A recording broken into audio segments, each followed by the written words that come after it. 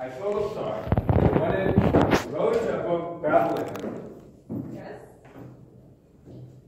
and came from the east to worship Messiah, born King of the Jews. We followed the star until it stopped. Until it stopped.